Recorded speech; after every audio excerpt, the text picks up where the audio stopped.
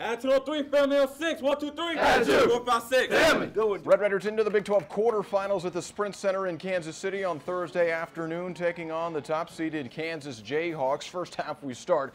Tech, though, already in an 8-0 hole. Daylen Robinson inside to Jordan Tolbert, able to slow the bleeding, and the Red Raiders on the board, down 8 to 2. KU though answering with another 7-0 run. Tech down 15 to 2. Jamal Williams though in the corner, back to within 10. And here come the Red Raiders, and here comes Dejan Kravic, the hero from Wednesday night, with nine straight for the Red Raiders. That cutting it to a 19 to 15 ball game. 20 points on the night for Dejan Kravic. Three minutes to play now in the first half. Tolbert again inside two of his 13 points, and all of a sudden it's a two-point ball game. Jayhawks though close out the half on a 7-0 run and an early 10-0 run in the second half. Finally, Jaye Crockett able to put an end to that. That to get back within 15, but the Jayhawks shooting 66% from the field as they go on to win this one 91 to 63 the final putting an end to the Red Raiders season but plenty of valuable lessons learned along the way.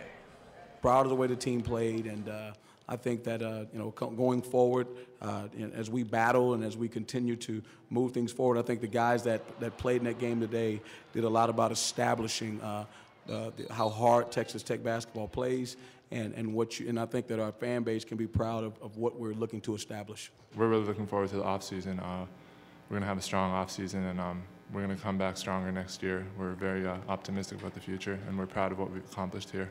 We're fighters and we're going to fight till the end and um, now it's just preparing now. Now we know what we have and we're, we have a strong nucleus and people are starting to get familiar with each other.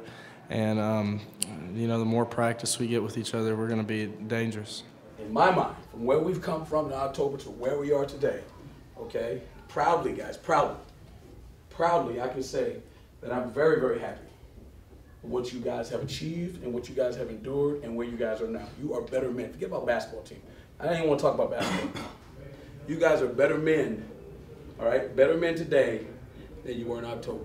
You, you've often heard me say that the most important thing is being the best team you can be by the end of the season. And the thing that I'm most impressed uh, as a, they're the best people they can be by the end of the season. I think they become stronger as men, and uh, and that's why they became stronger as a team. You guys have sent a message loudly that this program is not on a decline. This program is on the rise. All right, and for that, I'm telling you right now, that's because of the guys that are sitting in those chairs. We made our fans proud and our fans base proud, and as a first year head coach, I couldn't ask for a better set of guys to handle the circumstances they did and turn a frown upside down and really play to the end. Plenty of lessons learned under Chris Walker this season, but with that putting an end to 2012-2013's season. For Texas Tech TV, I'm Brandon Rowie. Attitude on three, family on six. One, two, three. Attitude. Four, five, six. Family says, hey, the